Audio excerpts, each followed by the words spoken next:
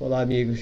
Em virtude da pandemia do coronavírus, é, eu acho necessário nós combinarmos algumas coisas aqui em relação ao nosso colégio. Em primeiro lugar, é bom que todos saibam como identificar se está ou não com o coronavírus, que é por meio de uma tosse seca que, que se inicia e que leva 3 a 4 dias.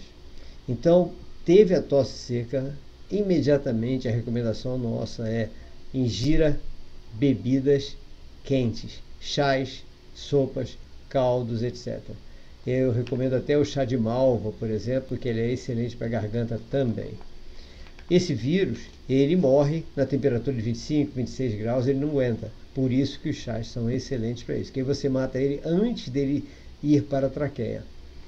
A menos, você não vai matar ele se você estiver tomando sorvete, bebidas geladas, água gelada, etc. Porque aí ele vai adorar que está uma temperatura baixa, não vai é, ter nenhum problema com ele, ele vai para a traqueia e daqui a 5, 6 dias ele vai causar a pneumonia. Aí não tem jeito, tem que ir para o hospital. Então, para evitar tudo isso, teve a tosse seca, comece logo com seus chás, sopas, caldos, etc. Tá? E evitar totalmente bebidas geladas. Nesse período, esqueça sorvete, esqueça suco gelado, esqueça água gelada. E outras recomendações. Entre a primeira é essa, evitar bebidas geladas, a segunda, tomar banho de sol. Sempre que puder tomar banho de sol. Além de aumentar a sua imunidade, você está matando os vírus que por acaso estejam por perto da gente. É, lavar bem as mãos ao pegar em qualquer superfície metálica, tipo corrimão, maçanetas, etc. Tá? Não coçar olhos nem nariz sem estar com a mão bem lavada. E como é que é esse bem lavada? É com álcool gel? Não, é com detergente. O álcool gel é para emergência. Não tem como lavar a mão, passa álcool gel.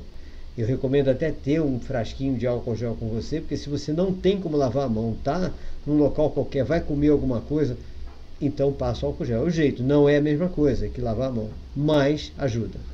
Então, o álcool gel é um complemento da lavagem da mão que deve ser feita com ou sabão neutro, sabão de coco, etc., ou detergente, porque ele tira toda a gordura mesmo, tá? Esse detergente mesmo de cozinha, de cozinha, tá? De lavar prato.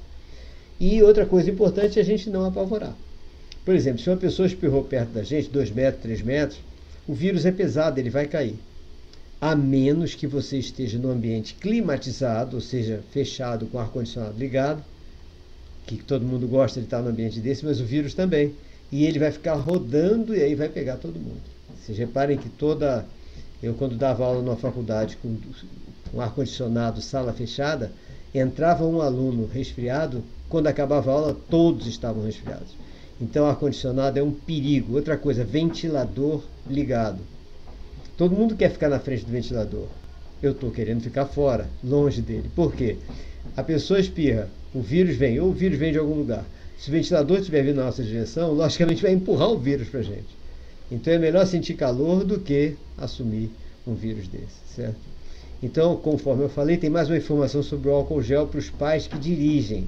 Cuidado, esse vício em álcool gel está fazendo muita gente ser multado. Por quê?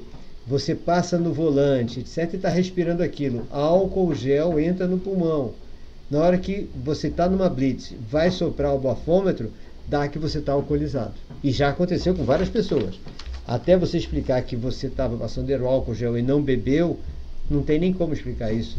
Deu o, que você está com o nível de alcoólico acima, já está multado. Tá? Em relação às aulas. Em relação às aulas, nós temos aqui no colégio uma coisa fantástica que é o Agenda Edu. Então todos devem atualizar a sua agenda Edu, aprender como mexer, porque tem que mexer todos os dias, entrar todos os dias nela, tanto antes de dormir como ao acordar também, assim que acordar. Por quê? Porque todas as informações nossas importantes estarão na agenda Edu, todas. Por exemplo, é, você sentiu febre, e também coisas assim, você sentiu febre, gripe, é, algum sintoma em casa, não vá para a escola, avise tá? e acesse a Agenda Edu para receber todas as informações daquele dia. Por que, que não é para ir para a escola? Para você não passar o vírus ou alguma coisa que você tenha para os colegas? Não é só para isso. É porque quando a gente está com algum sintoma desse, nós estamos com a imunidade baixa. e significa que no caminho para o colégio ou no colégio, se aparecer algum outro vírus, você vai absorver aquele vírus também. Então, se sentiu mal, fique em casa. Fique em casa, avisa e acenda, a, a, acesse a Agenda Edu para não perder nada daquele dia de aula. Tá? Se por acaso nós tivermos que suspender aulas algum dia por algum motivo, seja pelo coronavírus aumentando a intensidade, ou seja por alguma outra coisa, nós temos a Agenda Edu. Então, pela Agenda Edu, nós teremos todos os dias todas as informações importantes, é, informações em forma de vídeo, em forma de texto, em forma de tudo.